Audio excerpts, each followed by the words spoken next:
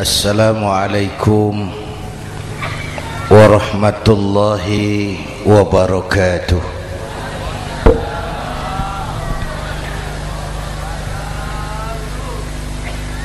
الحمد لله وكفى والصلاة والسلام على سيدنا محمد المصطفى وعلى آله وأصحابه أهل الصدق والوفاء أما بعد para ulama para habaib para masyaikh yang saya muliakan yang terhormat Bapak Kapolres dan Bapak Dandim Sahibul Bait segenap keluarga besar Pondok Pesantren Raudhatul Muta'allimin Al-Aziziyah Bapak-bapak, ibu-ibu, hadirin hadirat ma'asyiral muslimin yang saya cintai. Saya bersyukur dapat menghadiri haflah Maulidin Nabi Al-Karim dan saya bangga dan terharu dengan keberadaan pondok pesantren Raudhatul Muta'allimin Al-Aziziyah ini. Sekarang ini banyak orang bisa memberi contoh tapi sedikit orang bisa menjadi contoh memberi contoh itu mudah. Tapi menjadi contoh itu yang sulit. Oleh karena itu pada kesempatan ini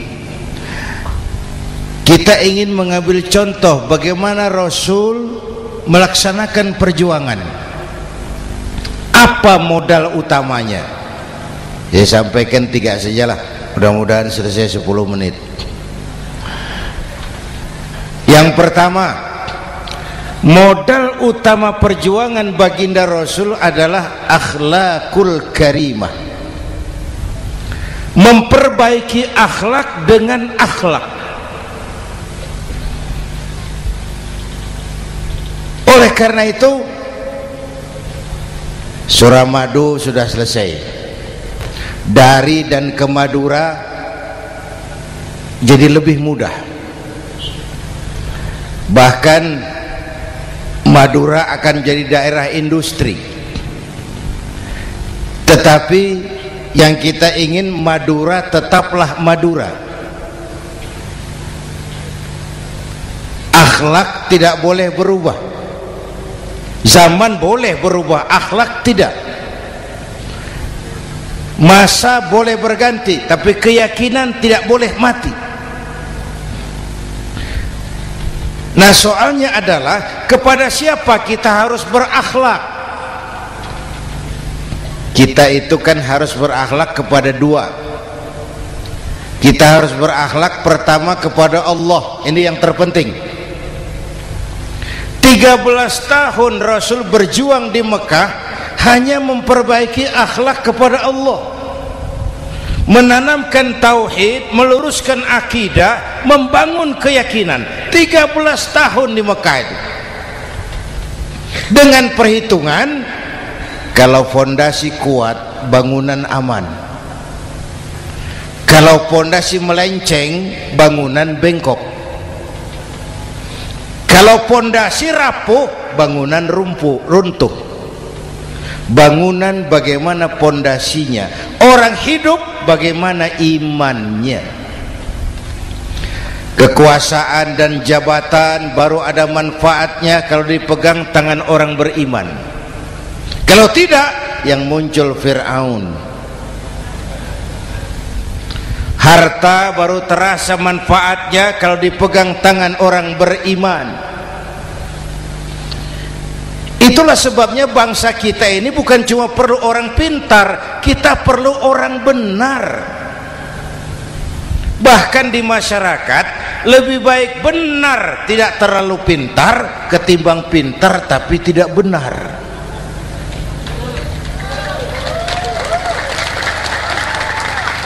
Oh, kalau sudah pintar tidak benar, rusak rakyat itu, Pak. Disuruh ngurus beras, malah nimbun beras. Ya. Disuruh ngurus laut, jadi bajak laut. Disuruh ngurus hukum, bikin hukum seperti pisau, tajam ke bawah, tumpul ke atas kalau yang kecil salah hukum cepat-cepat ditegakkan. Yang besar salah diam pura-pura tidak mengerti. Itu yang melukai rasa keadilan.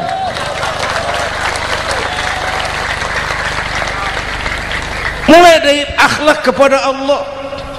Bagaimana cara berakhlak kepada Allah? Caranya dua. Pertama jangan menyekutukannya dengan sesuatu pun.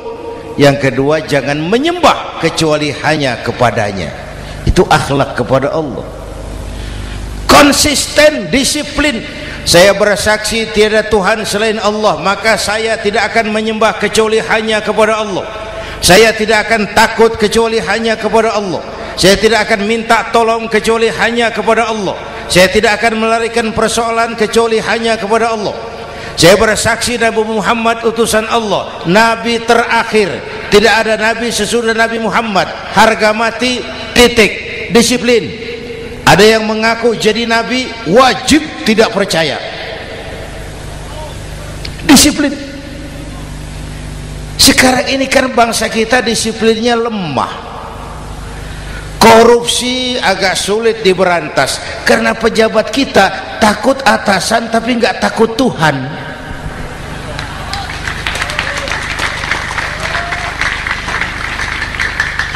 itu sama dengan anak muda naik sepeda motor ngebut. Lampu merah jalan terus di stop sama polisi. Prit! iya pak. Minggir! Siap. SIM? Ada pak. SNK ada pak. Tahu kau lampunya merah? Tahu pak. Kenapa lewat terus? Saya nggak tahu ada bapak itu disiplin kita tenang benar jawabnya. Kayak orang nggak salah itu.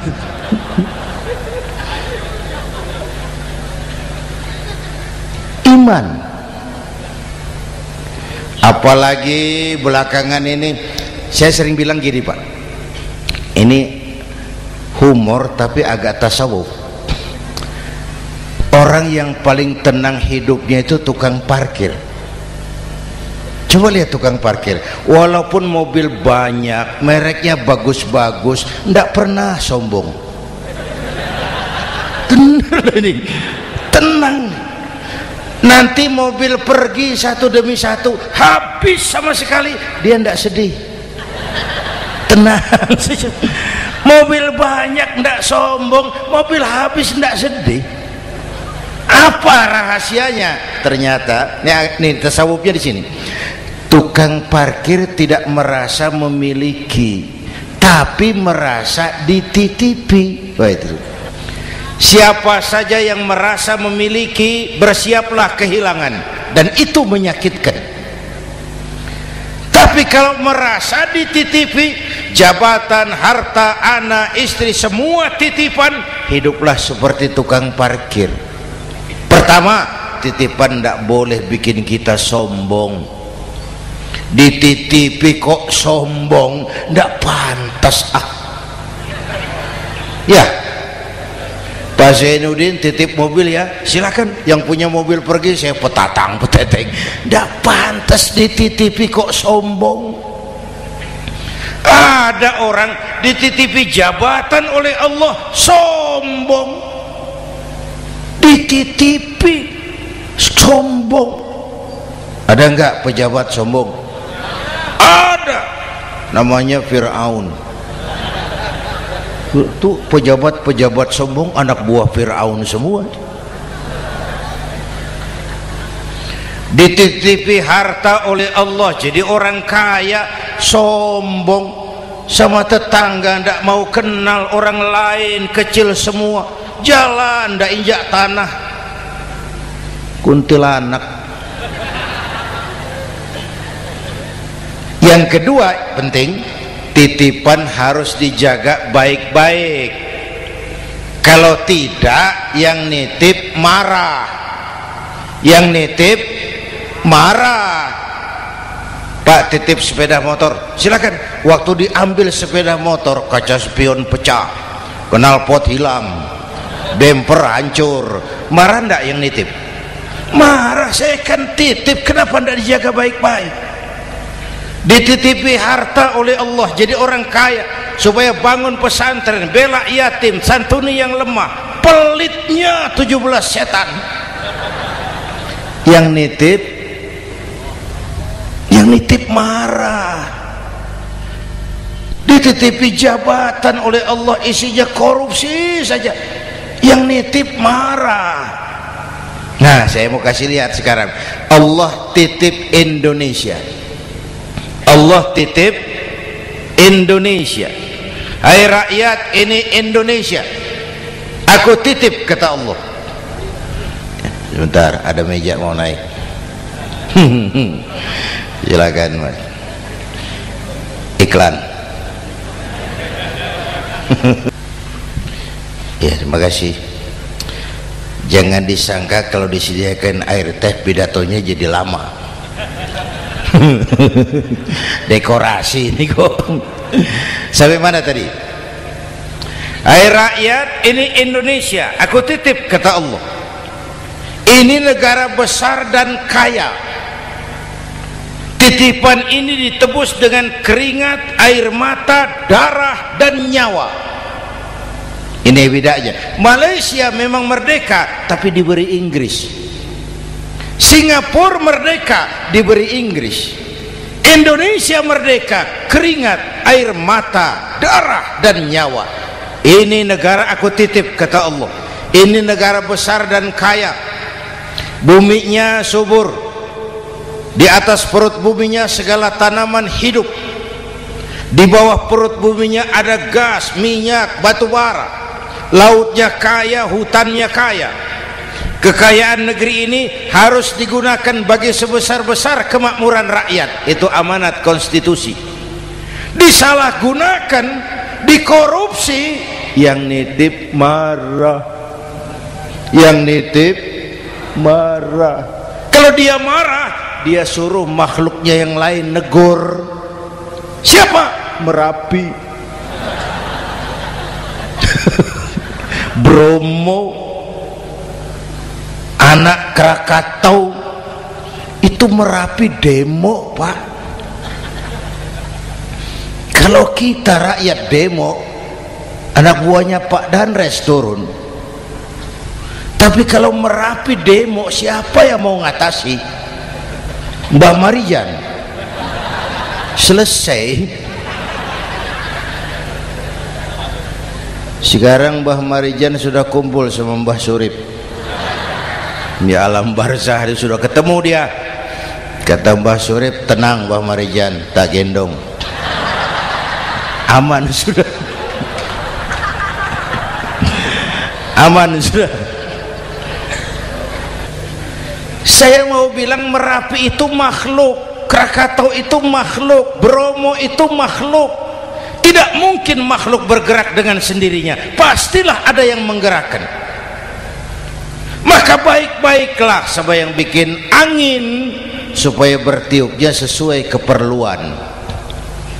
Baik-baik dengan yang bikin air supaya datangnya sesuai kebutuhan. Baik-baik sama yang bikin gunung supaya meletusnya pelan-pelan.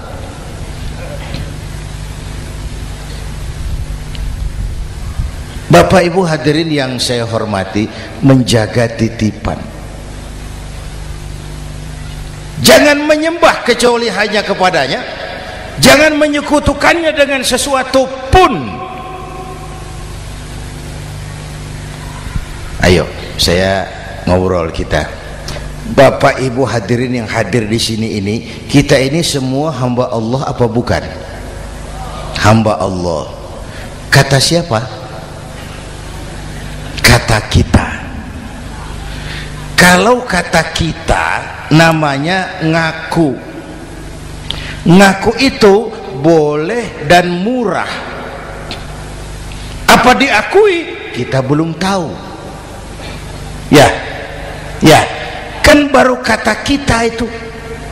Dan tidak otomatis kalau kita bilang saya ini hambamu ya Allah. Lalu Allah jawab iya ya.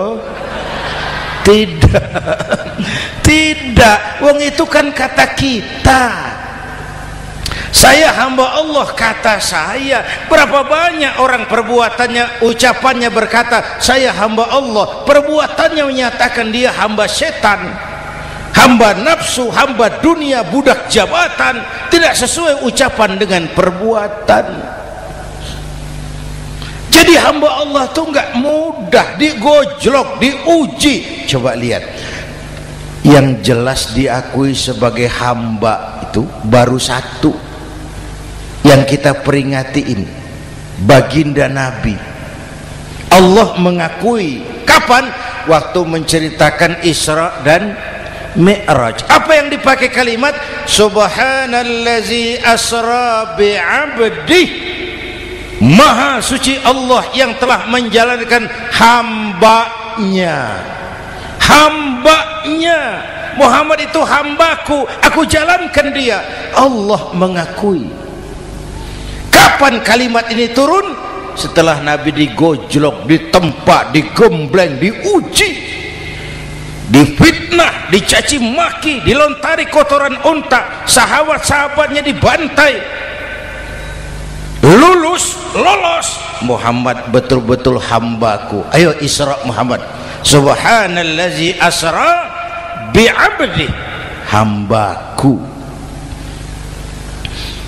Jadi kalau mau jadi hamba Allah ya diuji, digojlok, digembleng Nah, mari kita lihat kehambaan baginda Nabi.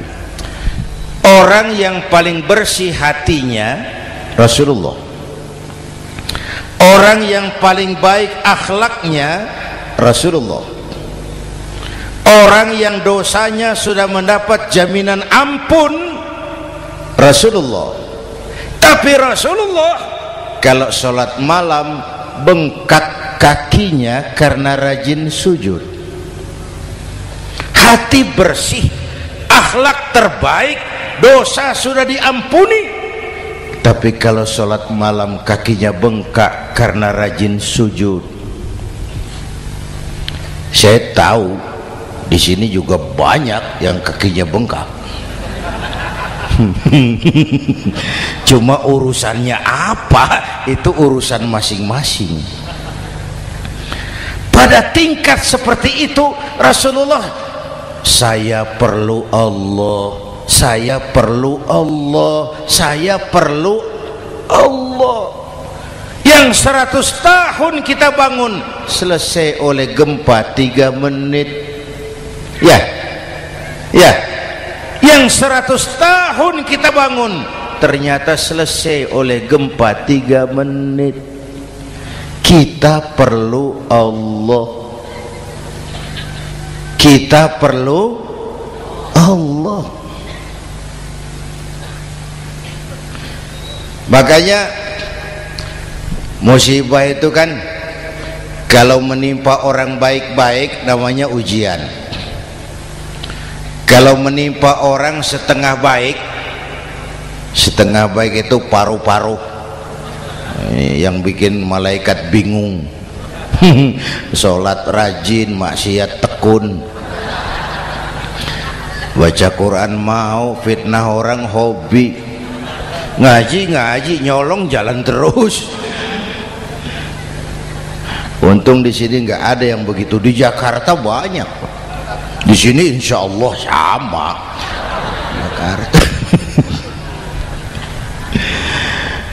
orang separuh-separuh seperti itu kalau dapat musibah itu namanya teguran bukan ujian kenapa ditegur lalai Nah, kalau orang jahat dapat musibah itu namanya persekot. Uang muka tanda jadi. Kontannya nanti di akhirat. Kalau diuji bukan saja harus sabar tapi harus lulus. kalau ditegur introspeksi perbaiki yang kurang kurangi yang memang berlebihan. Bertali-tali bersambung-sambung musibah ini. Dan musibah kalau datang tidak pernah memilih. Tidak pernah memilih. Bapak Ibu hadirin yang saya muliakan jadi mari yang pertama jaga akhlak kita kepada Allah.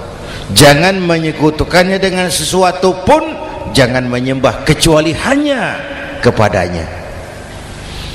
Sekarang kan musim entertain. Orang pandai membangun pencitraan. Orang pinter bikin bungkusan. Sekarang ini kiai sama dukun tipis bedanya bener pak.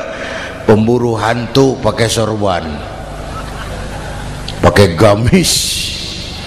Nanti kiai pakai helm. Atribut sudah kacau sekarang ini. Siapa pakai apa siapa mau jadi apa tidak jelas. Sementara masyarakat kita memang agak kutil kurang teliti. Cepat heran gampang kagum pernah terjadi satu saat tabrakan di jalan. Puh, keras sekali. Korban jatuh berlumur darah. Dikerubungi orang banyak. Datang wartawan. Mau ambil gambar dari dekat sulit. Banyak sekali orang ngerubung. Dia cari akal. Tolong saya dikasih jalan ke dekat korban. Orang menoleh semua. Saudara siapa? Saya bapaknya korban katanya. Dia mengaku bapaknya korban. Ya orang minggir semua minggir minggir ada bapaknya korban orang minggir semua dia maju ke depan korban sampai di depan korban pucat mukanya itu wartawan Kenapa? Yang ketabrak anak monyet, Pak. Oh, dia sudah ngaku bapaknya korban.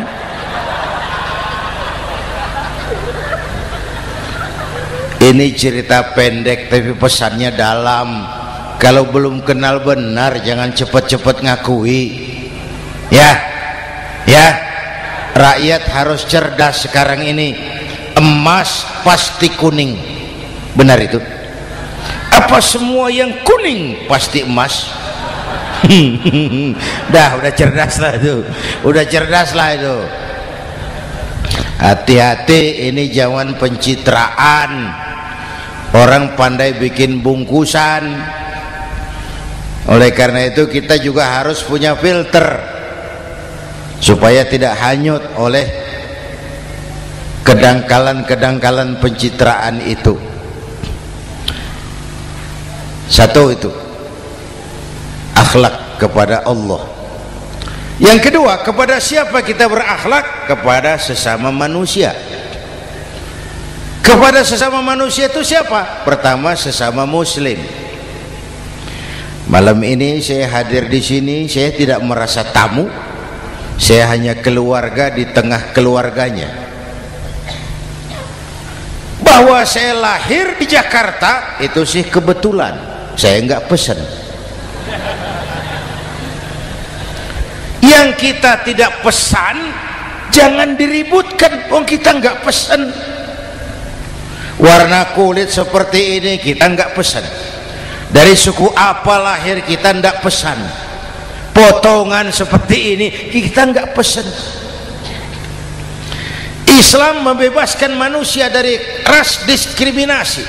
Pada waktu yang bersamaan Islam mengangkat harkat derajat martabat kaum wanita. Ini kasihan dari tadi nggak diajak ngomong nih.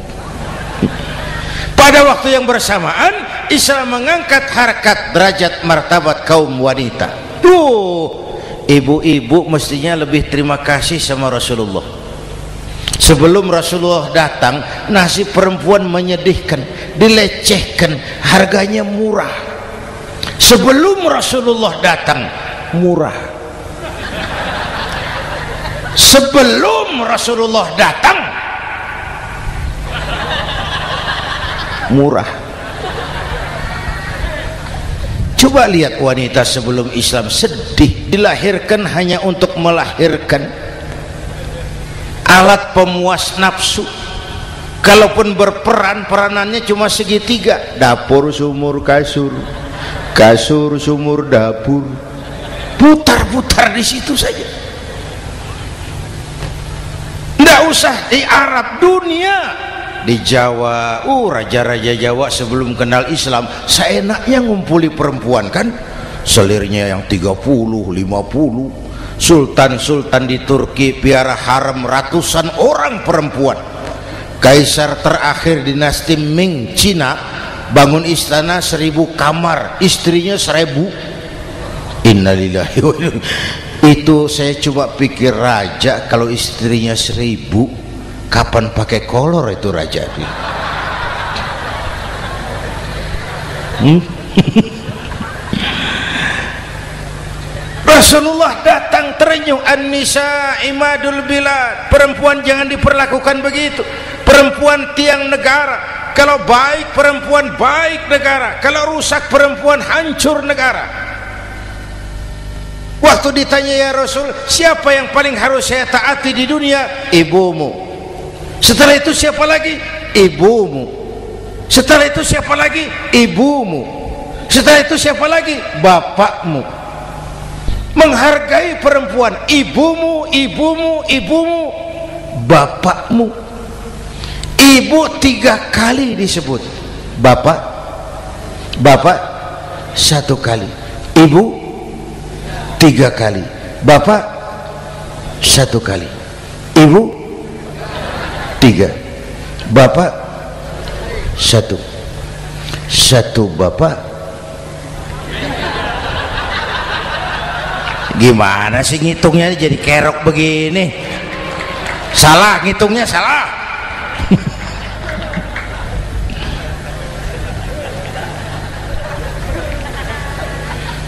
Lalu dicairkan kehidupan ke kemasyarakatan di masjid. Masya Allah masjid itu pendidikan demokrasi betul. Pertama siapa pun masuk masjid copot sandal buka sepatu. Benar itu masyarakat yang mau kita bangun. Tidak ada warga negara kelas satu. Semua sama. Lurah masuk masjid buka sepatu rah. Hmm? camat masuk masjid buka sepatu mat. Gubernur masuk masjid buka sepatu nur. Nikmatnya masyarakat masjid nikmatnya masyarakat masjid. Coba. Binatang saja harganya tidak sama toh. Sapi yang mahal yang gemuk. Betul. Karena harga sapi pada dagingnya. Makin gemuk sapi makin mahal harganya. Tapi ada burung perkutut lebih mahal dari sapi padahal dagingnya sedikit betul. Kenapa harganya lebih mahal dari sapi? Harga perkutut suaranya. Di mana harga manusia? Yang paling gemuk? Silahkan bersaing dengan sapi. Maaf maaf maaf maaf inna akramakum indallah atqakum. Masyarakat masjid. Sudah coba sandal buka sepatu? Sudah. Masuk ke dalam sholat berjamaah. Kalau sudah ke dalam sholat berjamaah tidak pernah kita usil dari mana orang datang. Yang penting ke mana dia menghadap. Itu masyarakat masjid. Dari mana kamu? Dari kidul pak. Madap ngulon kamu dari mana? Dari lor pak. Madap ngulon. Kamu dari mana? Dari kulon. Madap ngulon juga. Ini kan konsep bineka tunggal ika. Dari mana pun orang datang apa pun warna kulitnya dari suku apa pun ia dilahirkan kalau akidahnya sama itu saudara kita. Lalu sholat berjamaah itu? Hidup bermasyarakat berbangsa dan bernegara. Harus ada imam harus ada makmum. Kenapa? Ini saya harus agak hati-hati. Pakai sarung angin ini. Apa tadi? Ngomong apa saya? Sholat berjamaah, bermasyarakat, berbangsa dan bernegara. Ada imam, ada makmum. Siapa makmum? Kita ini rakyat. Siapa imam? Para pemimpin negara. Apa bedanya? Imam harus dipilih. Makmum? Makmum nggak usah. Coba baca kitab fikih yang setebal apa pun, tidak ada bab pemilihan makmum nggak usah makmum nggak usah dipilih orang buta boleh jadi makmum. Orang bisu boleh jadi makmum. Tukang mabuk boleh jadi makmum. Tapi tidak tiap orang boleh jadi imam. Imam harus dipilih. Siapa yang jadi imam? Pertama a'lamuhum. Orang yang paling alim di kampungmu angkat jadi imam. Yang paling alim bukan yang paling tua yang paling alim tahu urusan punya konsep punya visi dan misi mengerti negara ini mesti dibawa ke mana jalan keluarnya apa angkat jadi imam. Pak ada dua orang Pak alimnya sama. Yang mana yang dipilih? Kalau ada dua orang alimnya sama kata Nabi afsohuhum yang lebih fasih lidahnya. Apa artinya fasih nyambung sama rakyat. Tahu apa yang dimaui rakyat? Nyambung. Tidak sah orang fasih bermakmum kepada imam cedal.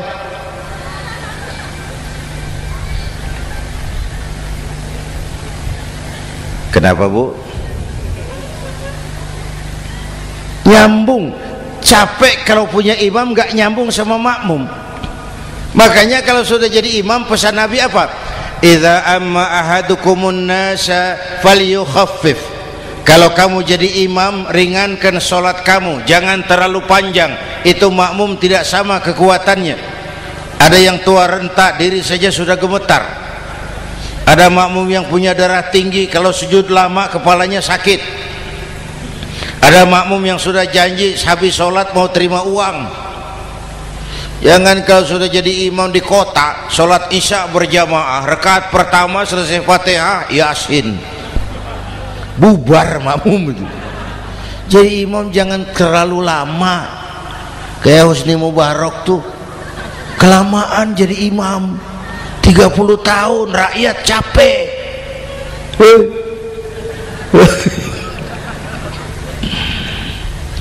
Bapak ibu hadirin yang saya hormati Nah masyarakat Islam ini loyal, taat, setia. Kapan? Kalau imamnya benar.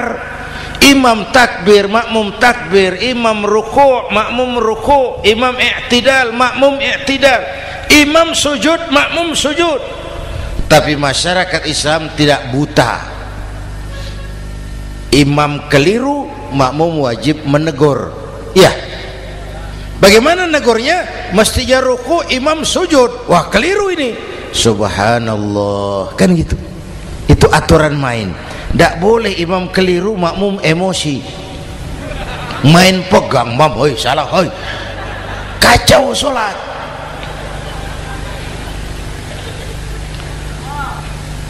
imam buang angin. Apa makmum lalu berkata demi kesetiaan saya kepada imam imam buang angin saya lebih keras lagi goblok Iyyaka na'budu wa iyyaka nasta'in. Sampai situ imam buang angin, minggir. Tidak usah ribut. Yang di belakang satu orang maju ke depan, lanjutkan pekerjaan imam. Yang penting imam tahu diri, buang angin, minggir ini negara rusak karena imam sudah buang angin. Tenang aja. Kayak orang nggak salah itu loh.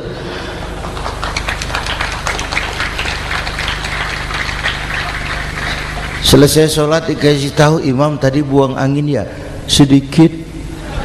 Apa kalau nggak sedikit lalu nggak rusak sholat itu? Nah dalam berjaga akhlak kepada sesama ayo kita jaga kesatuan persatuan kerukunan kekompakan. Ini pesantren Radhatul Muta'allimin Al-Aziziyah. Ini aset kita. Keberadaannya, pengembangannya, kelangsungannya bukan segera tanggung jawab pengurusnya. Tanggung jawab kita sesuai dengan bidang dan kemampuan masing-masing. Yang punya jabatan bantu dengan wewenangnya yang punya harta bantu dengan uangnya. Yang punya tenaga bantu dengan tenaganya. Yang bisa doa bantu dengan doanya. Yang tidak bisa apa-apa bantu dengan diam.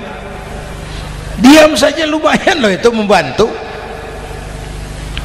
Bapak Ibu hadirin yang saya hormati saya ingat almarhum Panglima Besar Sudirman pernah bilang kamu itu kalau mau menang harus kuat kalau mau kuat harus bersatu. Kalau mau bersatu hidupkan semangat silaturahmi. Mau menang harus kuat.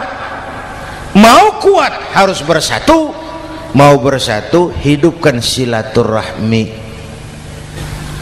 Bapak Ibu hadirin rukun antar umat seagama. Beda pendapat boleh marah? Jangan. Kalau di Jakarta kan sekarang lagi musim apa itu wahabi-wahabi yang bid'ah sedikit-sedikit bid'ah itu. Saya sih bilang yang suka tahlil bagus terusin. Yang nggak suka tahlil nggak apa-apa. Tapi jangan mencaci maki yang suka tahlil. Orang yang mabuk masih banyak kok yang tahlil dicaci maki kita ini seperti orang kurang kerjaan. Waktu guru saya Hadratul Mukarram Ki Haji Dr. Idam Khalid wafat saya ajak orang baca Fatihah. Selesai saya lagi duduk di belakang seorang pengusaha nemeni saya nemui saya Kiai. Kenapa? Saya coba ingin kepastian. Apa? Orang yang sudah mati dibacakan Fatihah itu apa pahalanya sampai? Saya bilang gini mas kamu kalau nggak percaya mati aja dulu. Saya bacain fatihah tunggu di sono. Kalau nggak nyampe balik lagi nggak apa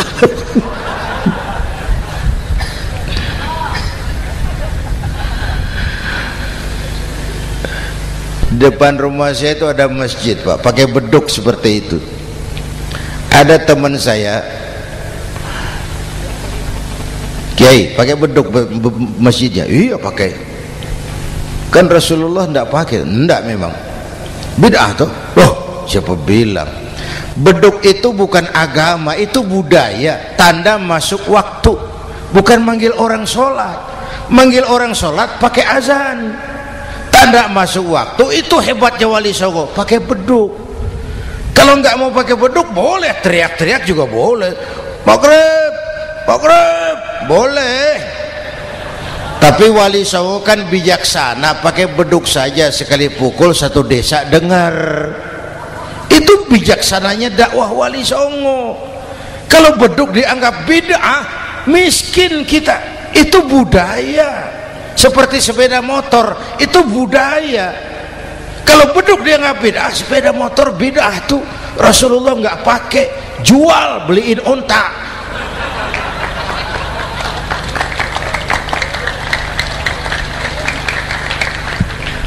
ayo cari persamaan jangan memperbesar perbedaan.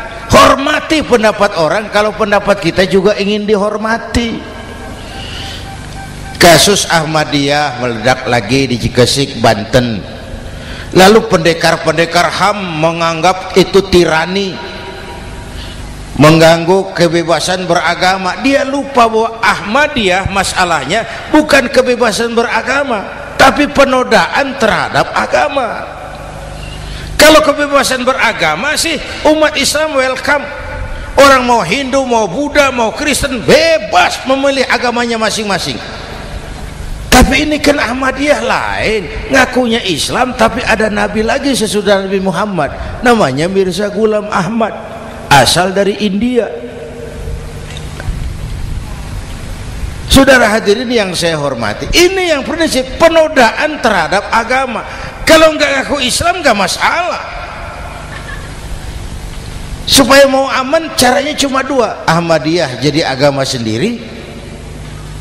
Karena Malaysia sudah melarang Brunei sudah Rabito Alam Islami menyatakan aliran sesat Saudi Arabia melarang pengikut Ahmadiyah pergi bikin haji dia dianggap non muslim cuma memang pemerintah kita nggak tegas. Kalau dari dulu dinyatakan dilarang nggak akan ada lagi kasus-kasus seperti itu.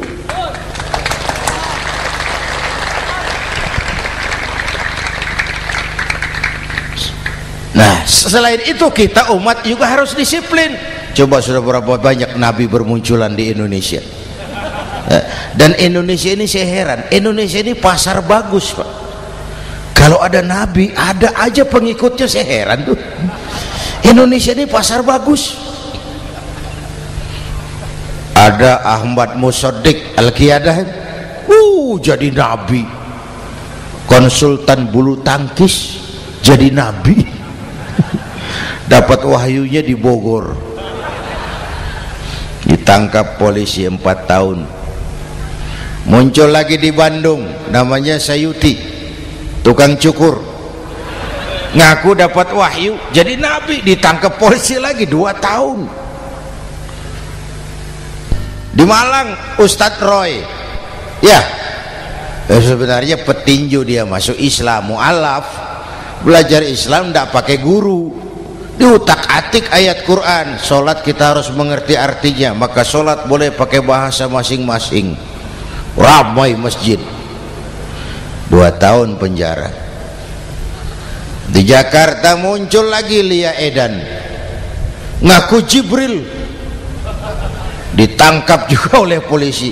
Kita salut sama polisi kita lah. Bukan cuma teroris. Jibril ditangkap. Pak Kapolres saya bilang sama teman-teman polisi untung dia ngaku Jibril pak. Coba kalau dia ngaku Israel lebih gawat itu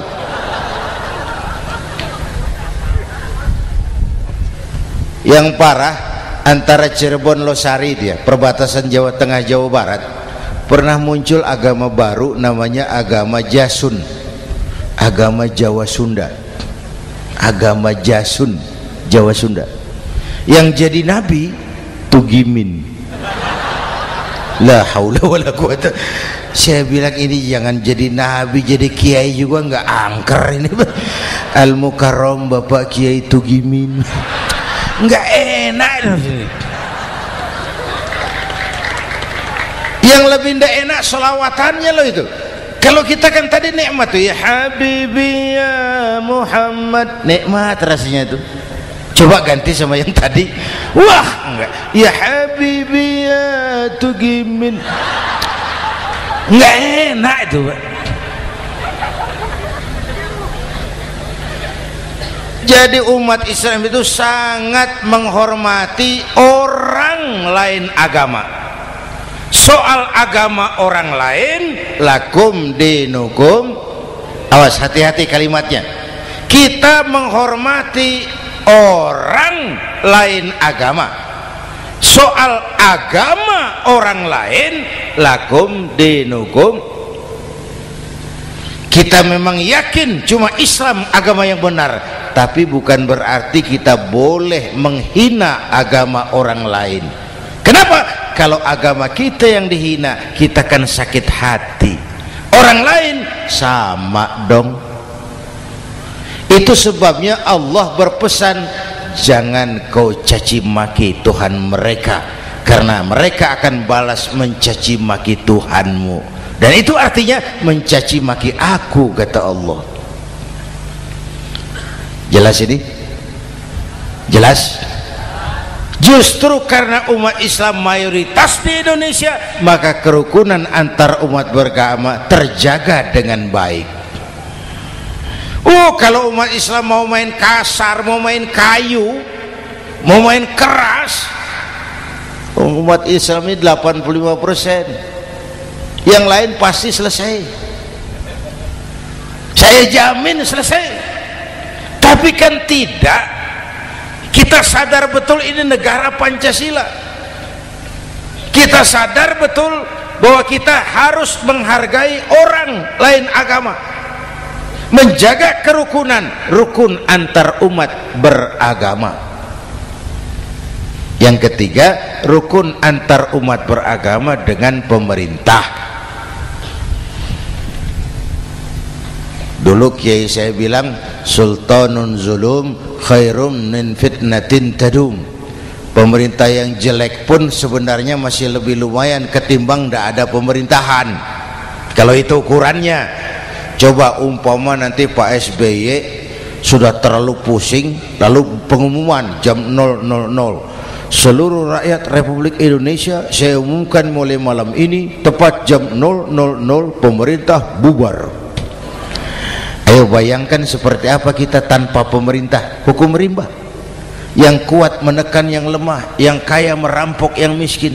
Rumah saudara dirampok lapor ke polisi. Kata kapolres mas maaf polisi baru bubar. Hak asasi diinjak-injak lapor ke pengadilan. Pengadilan bubar. Oh, masih ada pemerintah saja yang kuat suka menekan yang lemah. Apalagi kalau tidak ada pemerintah karena itu ulama dan umarok dua pilar utama kalau kuat keduanya kuatlah masyarakat kalau rapuh keduanya maka rapuhlah juga masyarakat Bapak Ibu hadirin yang saya hormati ini yang kedua kita harus berakhlak kepada sesama yang ketiga, kepada siapa kita harus berakhlak? Kenapa? Iya, saya cuma lihat jam. Yang ketiga, kepada siapa kita harus berakhlak? Kita ini harus berakhlak kepada makhluk Allah yang lain di luar manusia. Kepada air, kita harus berakhlak loh, Pak. Saya dulu remaja ngaji fikih kiai ngajar makruh buang air kecil di tanah yang berlubang oh saya protes kenapa makruh kiai pertama untuk kesehatan siapa tahu di lubang yang kau kencingi ada gas beracun. Kalau tidak kiai. Kalau tidak maka artinya kau harus melindungi binatang yang ada di dalam lubang. Siapa tahu di lubang yang kamu kencingi ada semut sedang rapat. Membahas masalah Mesir. Apa dosanya lalu mati dikencingi? Ini namanya rahmatan li semut Bapak Ibu hadirin yang saya hormati ada hadis sederhana. Faiza zabahtum fa ahsinu zibhata. Kalau kamu menyembelih hewan sembelihlah dengan cara yang terbaik. Jangan nyembelih ayam pakai pisau tumpul itu namanya tidak berperi kebinatangan. Kepada ayam kita berakhlak kepada pohon kita berakhlak kepada air kita berakhlak. Kenapa sekarang alam tidak seramah? Dulu karena kita juga tidak ramah kepada alam. Kenapa sering terjadi banjir? Karena tempat air kita kurangi. Dia bingung mau ke mana air nggak punya tempat. Akhirnya masuk ke rumah kita juga.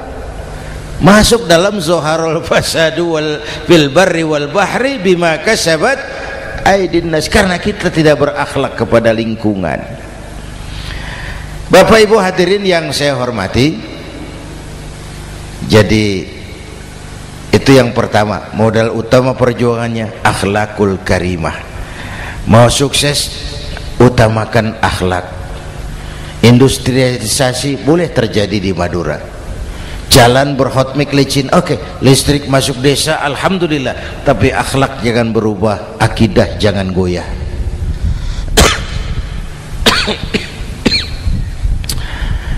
teknologi tidak bahaya. Yang bahaya orang yang menggunakannya. Wayang itu yang namanya cepot itu bisa selawat badar kalau yang megang Anom Suroto. Cepot bisa selawat badar kalau yang megang Anom Suroto. Wayang bagaimana dalangnya? Teknologi bagaimana orang yang menggunakannya satu. Yang kedua yang kita contoh dari baginda Rasul beliau itu sejak kecil tidak dimanjakan Pak. Lahir ke dunia tidak sempat melihat wajah bapak. Umur 6 tahun ditinggal ibu. Umur 9 tahun ngembala kambing. Berniaga ke Syam. Syam itu Syria sekarang. Umur 9 tahun bisnis lintas negara dari Saudi ke Syria remaja tidak dimanjakan kerja keras peras keringat banting tulang. Tidak ada pekerjaan halal yang hina. Lahir pribadi yang tegar mental yang tahan banting manusia yang tidak cengeng karena sejak kecil ditempa oleh kesulitan. Jadi gini orang itu kalau biasa susah ketemu susah ndak kaget pak mentalnya kuat. Saya santri biasa makan kangkung. Datang ke rumah teman dikasih kangkung. Loh makanan saya ini. Dikasih daging ayam nambah. Orang tuh kalau biasa susah enak. Saya santri biasa tidur di masjid. Disuruh nginep di hotel. Pules pak tapi yang biasa tidur di hotel suruh nginep di masjid. Encok. Hidup ini perjuangan. Mau sukses harus berani susah. Jangan seperti dulu nih cerita santri. Ada santri beternak lebah ambil madunya itu. Satu hari dia mau periksa sarang lebah naik ke pohon pakai tangga pakai sarung biasanya santri dia lupa tidak pakai celana dalam. Naik pohon periksa. Entah bagaimana terpegang sarang lebah itu. Berhamburan lebahnya keluar. Salah satu masuk ke sarungnya. Tergigitlah al-mukarramnya itu. Dia menjerit aduh jatuh berguling ke bawah. Sudah lama jatuh dia buka sarungnya dia lihat bengkak karena bengkak kan jadi besar sedang juga dia eh dia berdoa ya Allah hilangkan sakitnya biarlah bengkaknya ini kan ini doa orang nggak konsekuen Wong bengkak dan sakit itu paket. Mau bengkak ya harus berani sakit. Masa sakitnya bengkaknya mau, sakitnya nggak mau. Itu satu itu. Yang kedua kita ini sering kalau punya cita-cita sering seperti rapat tikus.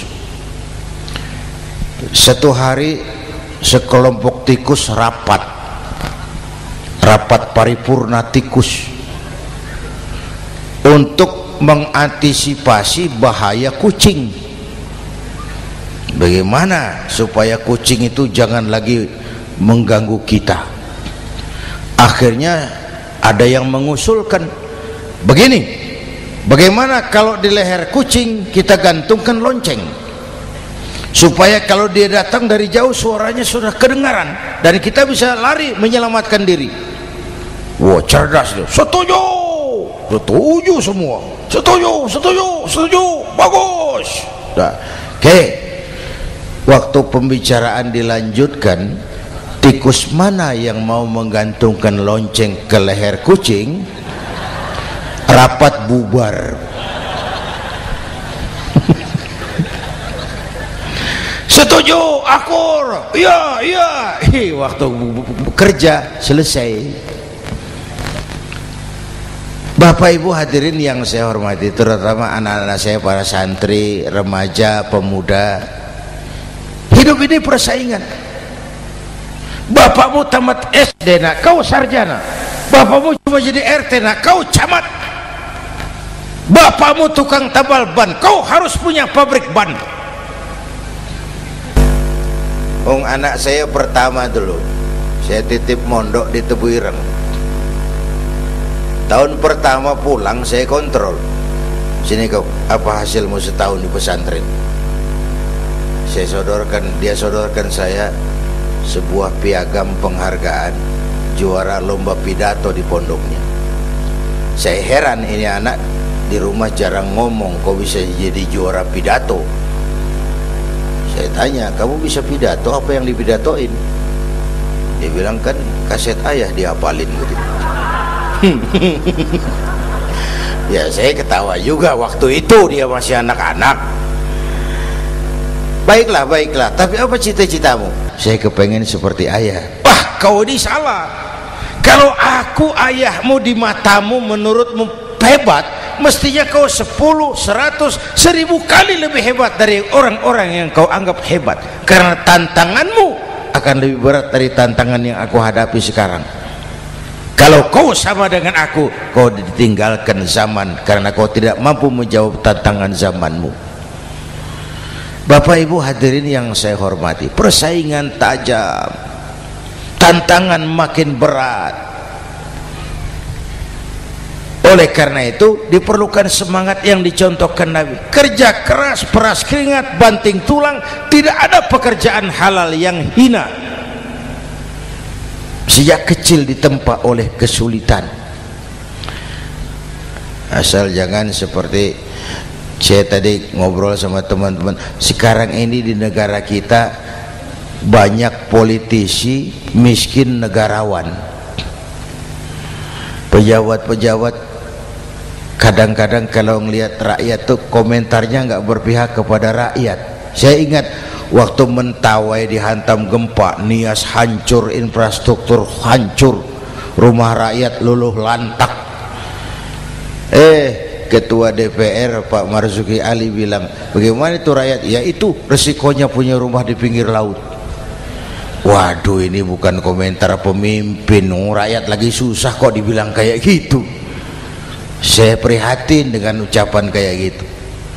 Waktu cabai 100 ribu di sini berapa sekarang? Sama ya? Waktu cabai mahal ada pejabat bilang rakyat suruh nanam cabai aja di halaman rumahnya ini kan gak solutif dan gak cerdas. Cabai naik rakyat suruh nanam cabai. Nanti beras naik rakyat suruh nanam padi. Yang saya khawatir kalau telur mahal. Apa rakyat suruh betelur gitu ini kan gak cerdas dan gak solutif. Bapak Ibu hadirin yang saya hormati apalagi tadi sudah saya bilang di awal kita ini bangsa yang ditempa oleh kesulitan. Mau merdeka saja dengan keringat air mata darah dan nyawa. Kita tidak boleh cengeng menghadapi kesulitan ini. Tegar tahan uji tahan banting dan seterusnya. Itu hal yang kedua. Yang ketiga terakhir Rasulullah itu sosok yang ibadahnya luar biasa. Tadi sudah saya jelaskan sebagian ibadahnya luar biasa. Ayo kita bantu keamanan negeri kita ini. Dengan apa? Istighfar. Wa ma kana Allahu mu'adzibahum wa hum yastaghfirun. Allah tidak akan turunkan bencana selagi di tengah mereka masih banyak orang-orang yang istighfar. Rasulullah yang dosanya sudah diampuni sehari seratus kali istighfar ayo kita ngobrol ini. Pak Pak Pak saya ini Zainuddin ini kalau mengharap masuk surga dengan amal yang saya kerjakan sendiri rasa-rasanya tipis harapan. Benar. Sholat saya berapa banyak saya tahu. Sodako saya berapa duit saya tahu dosa saya berapa banyak saya tahu. Lalu saya baca sejarah. Nabi Adam dosanya satu. Makan buah khuldi. Dikeluarkan dari surga. Nabi Adam dosanya satu. Dikeluarin. Kita dosanya banyak kepengen masuk. Ini enggak nyambung ini. Nabi Adam Nabi Adam dosanya satu dikeluarin dari surga. Kita dosanya banyak kepengen masuk. Enggak nyambung. Apa yang bikin saya besar hati? Apa yang bikin saya optimis? Ada dua Pak. Pertama yang disebut rahmat Allah yang kedua disebut syafaat Rasulullah. Dua itu Pak oh kalau kita ini insya Allah nanti sampai ke surga amin. Amin. Kalau kita ini sampai ke surga pak saya jamin itu bukan karena amal kita itu karena rahmatnya Allah. Ndaklah seberapa banyak sih amalan kita mau menggapai surga? Kalau bukan karena rahmatnya Allah sulit sampai ke sana Hei manusia dosamu besar. Tapi lihat rahmatku lebih besar. Hei manusia salahmu banyak tapi ampunanku lebih banyak. Kau nangis di hadapanku aku senyum melihatmu. Kau berjalan menujuku aku berlari menyambutmu. Istighfarnya sehari seratus. Lalu ada hadis kursi. Ini la ahammu bi'adhabi ibadi kadang-kadang aku pengen turunkan azab bencana kepada manusia. Tapi ketika aku melihat tiga perkara murkaku surut bencana aku tarik kembali. Coba perhatikan hadis kursi ini. Allah mau marah hendak jadi. Bencana ditarik musibah diangkat. Kenapa? Ada yang meredam murka Allah. Allah enggak jadi marah. Siapa? Pertama suyuhan rukka aku lihat orang-orang tua tengah malam sujud sambil berlinang air mata nangis di hadapan Allah. Itu kita hutang jasa lupa sama orang-orang yang tengah malam sujud nangis di hadapan Allah. Lihat yang begitu Allah tidak jadi marah tuh saya tahu ini bapak-bapak ini ibu-ibu kan suaminya sering bangun tengah malam ya bu. Hmm? kencing. Bikin bingung malaikat. Sudah mau ditulis tahajud kencing doang. Kata malaikat sialan. Hampir salah tulis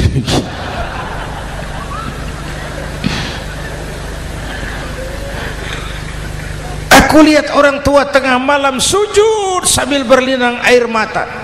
Lalu aku lihat bayi-bayi tanpa dosa masih menyusu. Sibyanan rudda.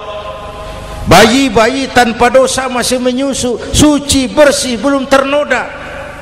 Wabaha iman rutta dan aku lihat binatang ternak melata mencari makan. Kambing mudah cari rumput. Alam terjaga keasriannya Bagaimana bencana enggak mau nambah? Kita mengamalkan hadisnya juga terbalik. Yang diminta itu orang tua tengah malam sujud. Bayi tanpa dosa nyusu.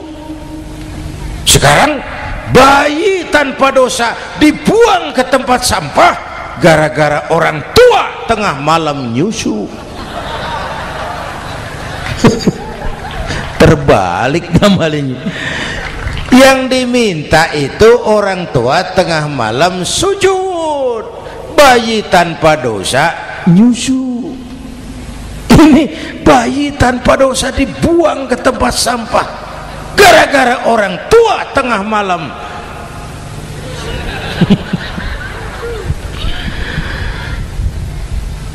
Bapak Ibu hadirin yang saya hormati. Rahmat Allah.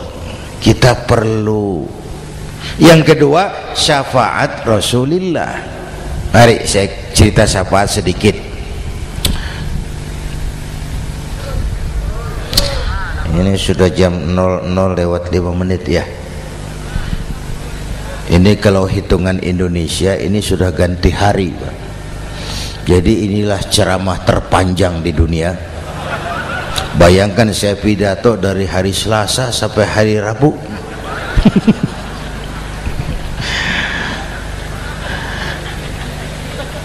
syafaat. Agak saya singkat ceritanya.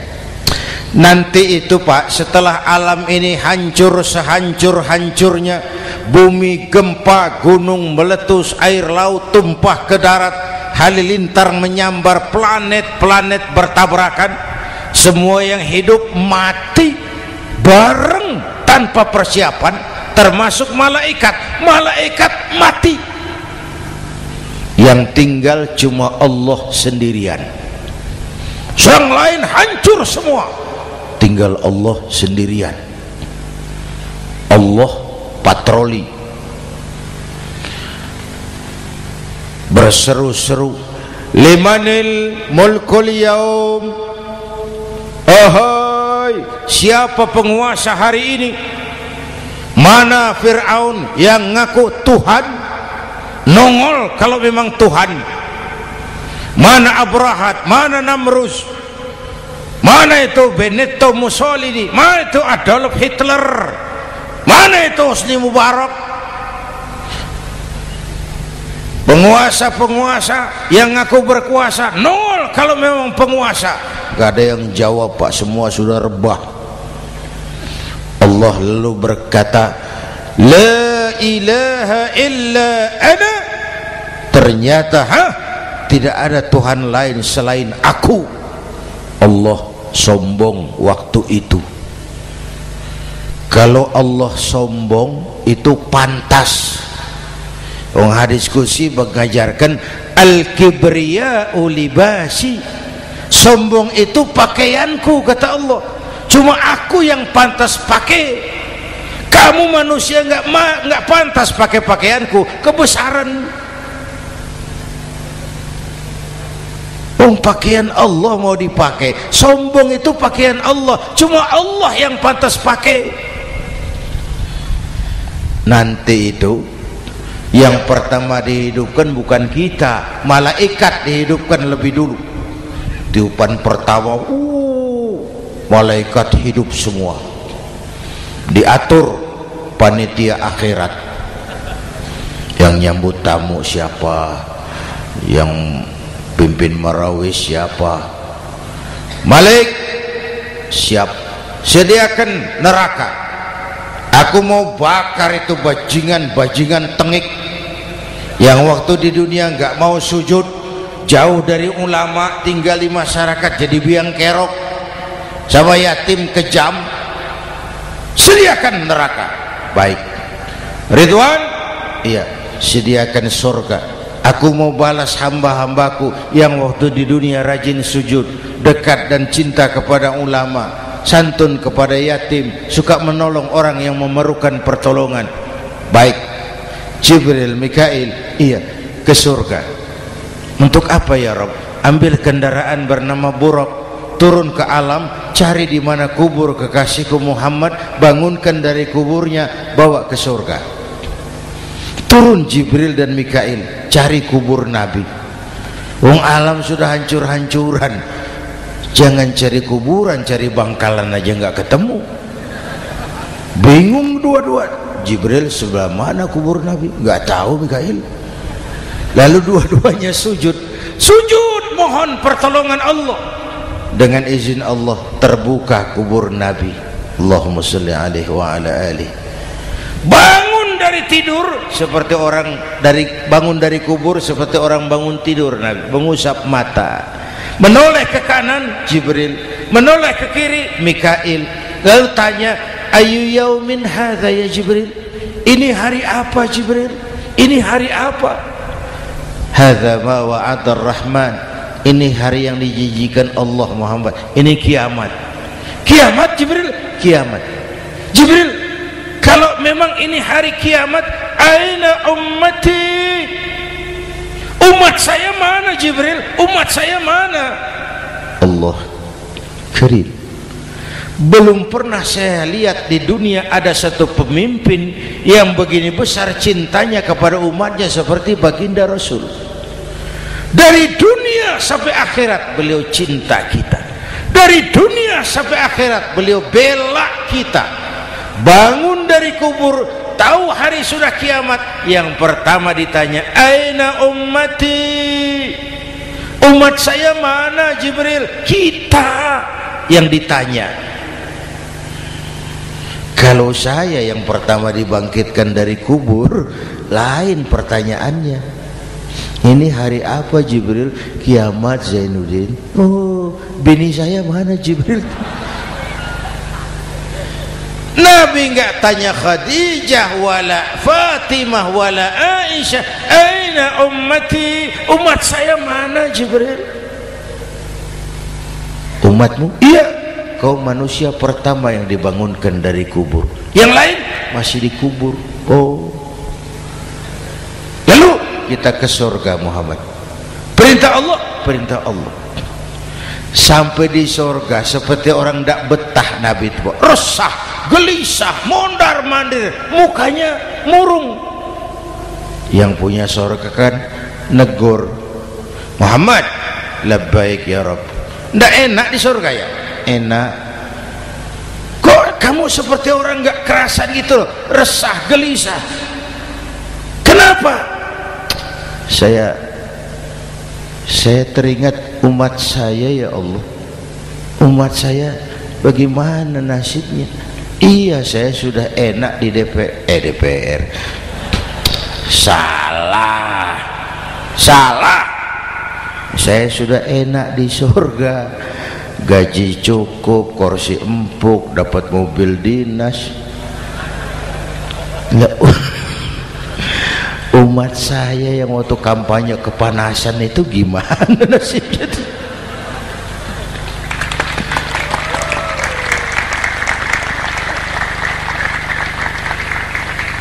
makanya dulu di, di Senayan di depan kantor DPR tuh banyak tukang kaca jualan di situ. Saya bilang ini tukang kaca pintar dagangnya di situ. Pas maksudnya supaya yang mau berkantor di situ ngaca dulu. Ya wakil lurah pasti tidak lebih tinggi dari lurahnya. Wakil camat tidak lebih tinggi dari camatnya Wong ini kenapa wakil rakyat kok selalu lebih tinggi dari rakyatnya?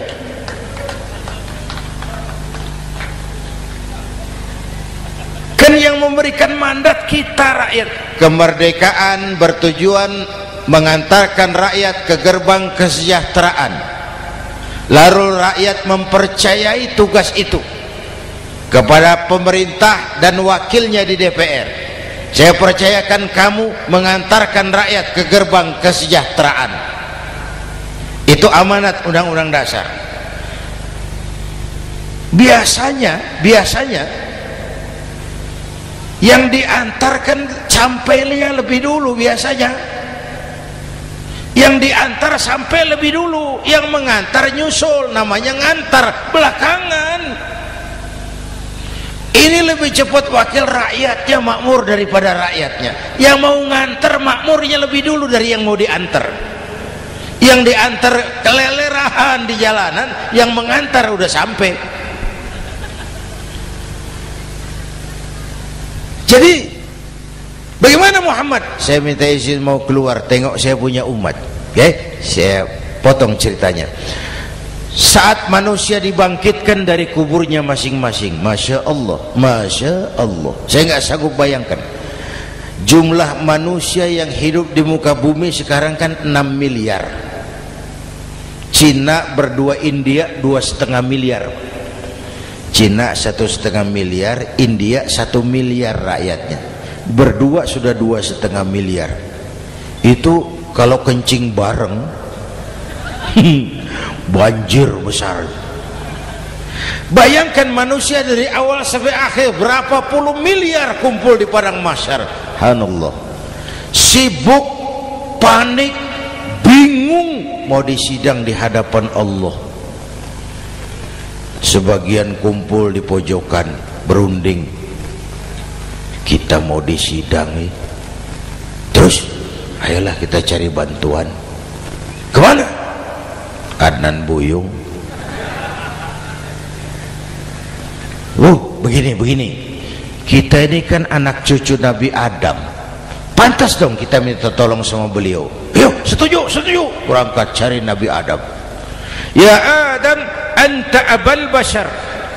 Adam tuan datuknya manusia. Kami cucu kamu. Anak turunan kamu mau disidang. Tolong kami Adam tolong. Kata Nabi Adam ora iso mas. Rombongan Jawa aku naik mumet lagi sama Nabi Nuh saja. Nuh bilang tidak bisa. Saya juga punya masalah. Pernah minta obat ditenggelamkan. Ibrahim barangkali. Semua Nabi hand up angkat tangan. Dikala itu yauma la yanfa'u malun wala banun di mana harta tidak ada lagi artinya. Anak-anak tak jadi beban. Tiap orang sibuk dengan urusannya sendiri-sendiri. Saat itu ada satu pemimpin. Allahumma salli alaihi wa ala ali diizinkan Allah. Dikala semua nabi yang lain angkat tangan hand up beliau malah ummati ana laha. Ta'ali ummati ta'ali ummati umatku sini umatku sini. Beliau memanggil-manggil umatnya. Yang bagaimana yang dipanggil? Ada hadis inna ummati yatuna yaumal qiyamah ghurran muhajjalin min atharil wudu. Umatku besok di akhirat datang menghadap Allah dengan muka bersinar-sinar karena sering wudu. Sering wudu kan sering sujud. Masa cuma wudu tapi enggak sujud itu nanti ndak usah mengaku Rasul yang panggil sini umatku. Tapi kalau muka enggak pernah wudu enggak pernah sujud merangkak di depan Nabi saya umatmu ya Rasul kata Nabi. Umat saya enggak ada yang kumel gini dikala itu beliau berkenan memberikan syafaat. Syafaat itu saudara-saudara saya pakai sarung sobek sedikit. Syafaat itu nambeli itu loh. Salat saya kurang sedikit, sedekah saya campur riak sedikit, puasa saya tidak ikhlas sedikit, ditutup dengan syafaat. Saya mau dagang, perlu modal 20 juta, saya punya uang 15 juta, yang 5 juta syafaat. Jadi harus ada modal. Kalau sholat tidak pernah, sedekah tidak pernah, lalu syafaatnya dari mana? yang dapat tambelan itu yang punya sarung bolong punya sarung sobek ditambal dengan syafaat lah kalau tidak ada sarung apa yang mau ditambal ya nah mudah-mudahan kita semua mendapat rahmat Allah dan mendapat syafaatnya Rasulullah Shallallahu Alaihi Wasallam. Bapak Ibu hadirin sudah setengah delapan lewat empat jam. Saya pun kangen tapi hari sudah larut. Insyaallah lain kesempatan kita jumpa lagi. Terima kasih kepada al-mukarramun para ulama para habaib pengasuh pesantren Raudatul Muta'allimin Al-Aziziyah dan semua yang hadir mudah-mudahan yang saya sampaikan ada manfaatnya. Usikum wa iya ya bitaqwallah aku lukau lihada fa astaghfirullahal azimari walakum wassalamualaikum warahmatullahi wabarakatuh